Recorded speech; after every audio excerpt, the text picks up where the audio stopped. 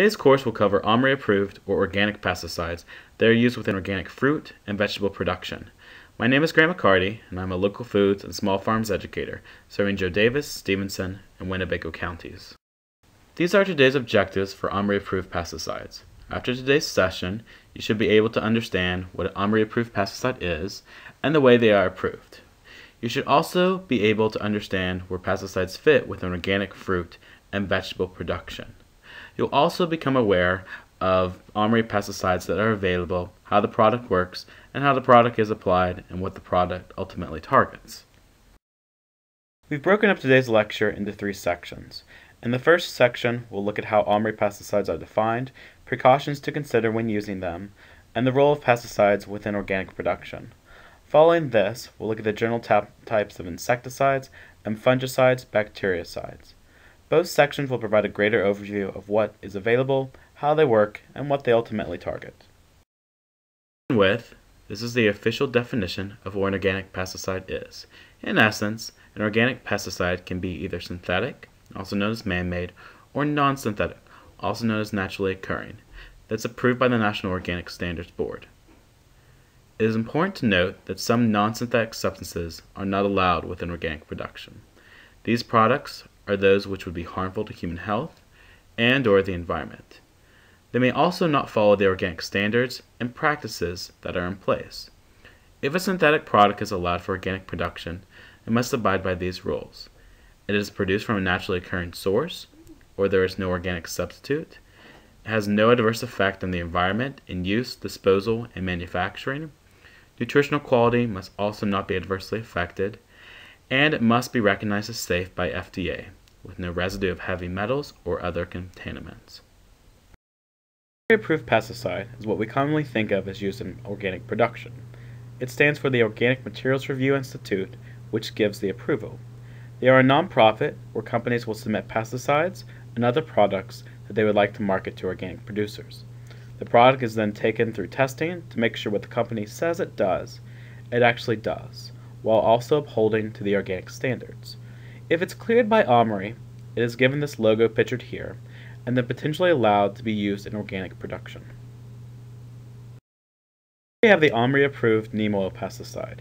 You can also see that an OMRI approved pesticide does not look any different than a pesticide that isn't OMRI labeled. It still must list its active ingredients, its registration number, and additional cautions that must be taken. If you were to look at the back of this neem oil bottle, you would also see the similar directions and cautions that you would if the product was conventional. Both OMRI approved and conventional pesticides look no different in their labeling, except for that OMRI listed seal. As we introduce these OMRI pesticides for organic production, there are a couple things you should keep in mind. Like any other pesticide, OMRI pesticides are still toxic. You should treat OMRI pesticides just like conventional pesticides. You should read the label, follow the directions, and be mindful of any type of personal protective equipment you will need. In addition, while an OMRI pesticide can be used in organic production, you must add it to your organic plan and must verify with your certifying agency before applying to your fields. Not all agencies will allow all OMRI approved pesticides, which is why it is important to talk with your certifying agency. At the same time, OMRI pesticides are still regulated, they are regulated in the same way as conventional pesticides are, and must follow EPA laws, regulations, and state BPC Title VII and Title 22 laws, regulations. They must also follow worker protection standards when applied. Additionally, while no OMRI pesticide is restricted use at this time, there may be certain restrictions that will need to be followed if it is to be applied to the field. Here we have information on neem extract pesticide, which we saw lay before a derivation of a couple slides before. This is taken from the official OMRI website, and you can see here that the status of the chemical is that it can be used in production, but there are some restrictions in place as to how it can be used. Additionally, there is an NOP rule you would want to look up that may explain more about the restrictions that are in place on this pesticide. Some OMRI approved pesticides are added and removed each year. What you could use the previous year, you may not be able to use this year. While some stay on the OMRI approved list year after year, it's still important to make sure and to contact your certifying agency when considering a pesticide to use. As we'll discuss in the next couple of slides, organic pesticides have an important role within organic production, and it's important to understand their role within an integrated pest management plan. This is taken from the official standards for organic production. If you decide to examine the OMRI approved list of pesticides, you will also see this paragraph above all the pesticides listed. The bolded words of physical and cultural have been added to this paragraph. The general idea is that in organic production, you should be utilizing additional practices that can control plant pathogens and insect pests before relying solely on the pesticides that are available to you within organic production. What we mean by physical and cultural practices, as mentioned on the previous slide, are these. Many of these practices you will already be doing as a certified organic production, such as cover cropping and crop rotation, but some of these additional practices can be incorporated within an integrated pest management plan.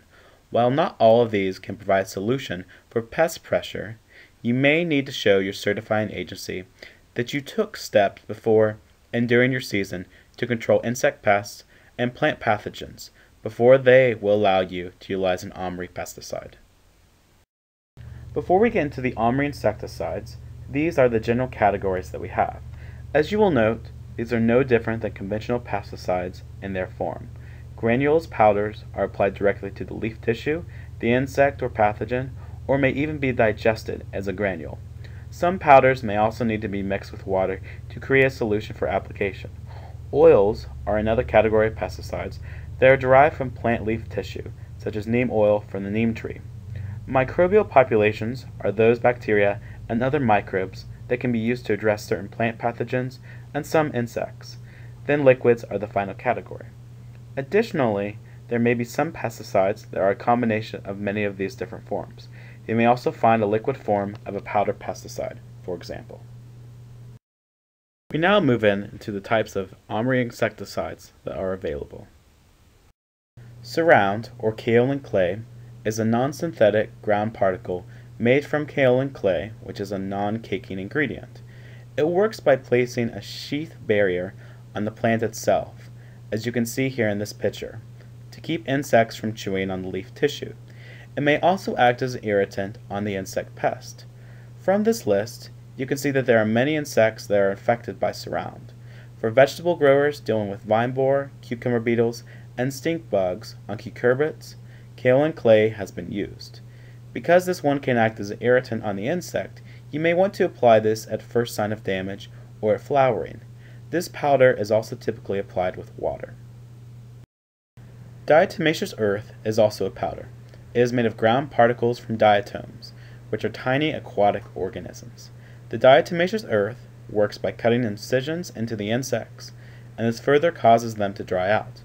Because of this, it has broad spectrum, and can affect many pests. Typically, you will apply diatomaceous earth at the first sign of damage or at flowering of the crop. In addition, you should be aware that this powder can also affect your pollinators, as the ground diatoms are very sharp in order to cut into insect pests. Neem oil, or neem soap, is a non-synthetic oil from the neem tree. It acts as an antifeedant for insect pests. Many beetles and true bugs are affected by neem, which includes Mexican bean beetle, Colorado potato beetle, squash, and stink bugs. Neem may also work for some aphids on both vegetables and fruit crops. Like other insecticides, neem must be applied in presence of insect pests. Neem also has a different percent variations available. Horticultural oils are derived from some stem and plant leaf tissues of select plants. Oils block the respiratory openings of the pest, which then causes suffocation. Horticultural oils primarily target smaller insects that are sedentary, which include aphids, overwintering aphid eggs, mite eggs, and scales. Garlic and hot pepper oils have been popular for controlling certain pest populations, although research shows that these are no different than what we might consider other plain horticultural oils. Rosemary and cinnamon oil may be more effective than other horticultural oils for some insects. Soaps are those that have been formulated to provide the best insect control but also have minimal damage to plants. In general, soaps break down the linings of the insect cuticle, and then blocks out breathing of the insect. Because of this action of the soap, it mostly works for soft bodied pests, such as aphids, mealybugs, mites, and whiteflies. Some examples of a soap include M-Pede and Safer's insecticidal soap. BT, or Bacillus thuringiensis, is a non-synthetic bacteria, so this is within the microbial category. BT produces proteins, which must be eaten to make an opening in the insect guts. The primary target for BT is Lepidopteran, or butterflies, moths, caterpillars, especially ones that will affect tomato and brassicas. Two examples of BT are dipel and thuricide. Additionally, there are different strains available that can control different species. While we cannot use genetically engineered crops containing BT, we can actually use the bacteria in organic production. One word of caution for BT is that insects may develop resistance to the BT strains and the proteins that are produced by BT. Beauveria bassiana is a non-synthetic fungus that infects tissue by developing spores that land on the insect. The insect may also ingest plant tissue that contains these spores. Thrips, aphids, whiteflies, caterpillars, weevils, ants, Colorado potato beetle, and mealybugs have all shown some control when utilizing Beauveria bassiana. Some additional information is that the use of this fungus for control will depend largely on the environment for the spores to effectively land and to stick to the outer layer of the insect, which is why we stress multiple spraying may be more effective. Metarhizium anisopliae is a non-synthetic fungal spores that are used to infect susceptible insects through contact on foliage or in the soil. Pests include thrips, whiteflies, and mites on onions, peppers, and tomatoes. It should be applied when insects are present. An example of an available product is MET52. When this product is applied, the effectiveness of the spores will depend largely on the soil temperatures, and any extreme temperatures, such as being very hot or colder, will impact the effectiveness. Some insect viruses are available that target certain pests. If you choose to use one of these, you want to match the insect virus to the pest you want to target. This category of pesticide is typically called the baculoviruses. They are within the genus Nucleopolyhedrovirus. The most common one is used to control codling moths on apples and other fruit. Examples of products that target codling moths are Cyd-X and Carpovirusine. Nematodes are non-synthetic microscopic roundworms within the Steinernematidae and Heterorhabditidae families. Populations are applied with water onto the soil. Because of that, these nematodes are only effective on pests that begin their life cycle in the soil or those that overwinter in the soil early on in the spring. Pests that have been controlled with nematodes include armyworms, borers, corn earworm, and corn rootworm. Examples of products that have been used to control these include carpocapsae and Heterorhabditis bacteriophora. Some vital information for using nematodes is that they do require wet and moist soil conditions in order for the nematodes to move within the soil profile. Spinosad is a non-synthetic that is made from spinosyn A and D that are produced by the fermentation of actinomycete species and Saccharopolyspora spinosa. It works as a broad spectrum for many insects by being ingested or through direct contact. Further, it affects the nervous system that can cause motor loss and the insect dies from exhaustion. Pests that are affected include caterpillars, beetles, thrips, flies, Colorado potato beetle, especially in its larval stage. Spinosad is poor though on true bugs. Because it needs direct contact or ingestion, this pesticide must be applied when insects are present. An example of spinosad is the brand Entrust. Pyrethrin, or natural pyrethrins, is a non-synthetic insecticide that is produced from powdered African chrysanthemums, among other species. The insecticide paralyzes insects, which eventually leads to death. It works on pests such as true bugs, caterpillars, beetles, whiteflies, leafhoppers, and cabbage loopers. It must be applied at the presence of the insect, as it needs to have direct contact with the insect. Some examples of pyrethrins include Pyganic, Concern, and Azera. One important note on pyrethrins is that they do break down rapidly in the sunlight, and their efficacy may be limited based on this. So we now are in our, the last section, which is the types of fungicide and bactericides that are available. Sulfur is a synthetic material that controls disease as a protectant from plant pathogens. It works by inhibiting spore germination and growth of fungal pathogens. Sulfur can target powdery mildew on many crops and brown rot on peaches. Sulfur is a preventative pesticide and must be applied before the appearance of the disease for the season. A word of caution with sulfur is that it may cause injury to some crops, as well as some varieties or cultivars of these crops may be more susceptible to this pesticide. Copper sulfate is a synthetic fungicide and bactericide that is applied as a spray solution. Copper ions of copper sulfate are absorbed by the spores of the fungus or bacterium. Through this absorption, it disrupts the protein functions that would have allowed for spore germination. Some examples include late blight, early blight, bacterial spot, and bacterial speck on tomato. Copper sulfate should also be applied before the appearance of the disease, if possible. When using this product, the National Organic Program stresses that you should be mindful of applying copper sulfate so that it prevents the ions from being accumulated into the soil. This may mean taking into account environmental conditions and a more precise spray schedule. In addition, copper sulfate has shown adverse effects on pollinators. Bordeaux mix combines copper sulfate with calcium hydroxide. This mix is typically used for downy and powdery mildew of grapes, fire blight and apple scab on apples, and foliar diseases of tomatoes. This pesticide should be applied in early spring with a diluted mixture applied first on the young foliage. At the same time, different rates may be needed throughout the season. It can also persist through some wet conditions. Bicarbonate is a synthetic white granular powder that is mixed with water, then applied on the foliage. Through this, it acts as a protectant for certain foliar diseases. Some diseases that can potentially be controlled are powdery mildew on grapes, cucurbits, and brambles. This pesticide will need to be applied at first sign of disease. Example of products available include Kaligreen, Spectrum, and Armicarb. Armicarb especially for powdery mildew on grapes.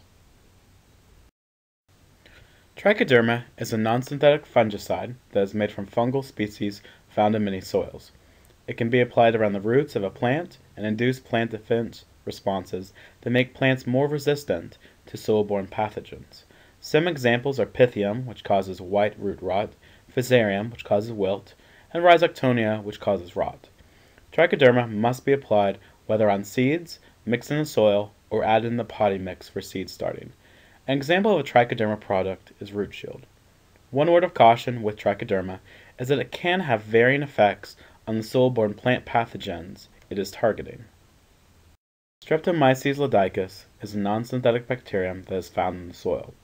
It works by colonizing the plant roots and foliage, where it then competes with other plant pathogens. The bacterium also produces antifungal compounds and enzymes that will digest the cell walls of plant pathogens. Streptomyces lydicus can be used as a seed treatment for pathogens that include Fusarium, Rhizoctonia, Pythium, Sclerotinia, and Verticillium. When applied on the foliage, it can target downy and powdery mildews, fire blight, alternaria, Sclerotinia, and anthracnose. Streptomyces lydicus should be used as a preventive pesticide and applied before disease is present. An example of a product available is actinovate.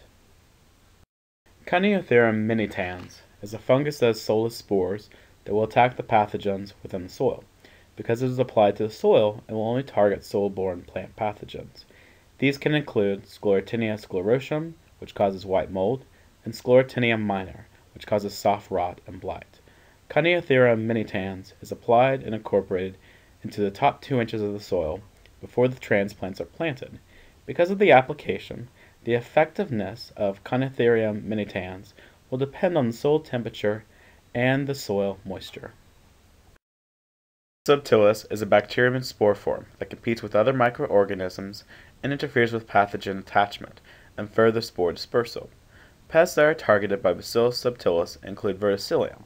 However, when Bacillus subtilis is combined with Streptomyces gammaericephaciens, it can control root rot of cucumber and tomato. Bacillus subtilis is a preventive pesticide. and needs to be applied as seed treatment or into the soil.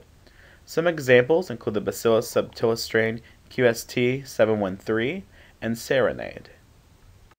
Here are some additional resources that you may find useful. The Local Foods and Small Farms team has developed webinars that can be accessed from this address.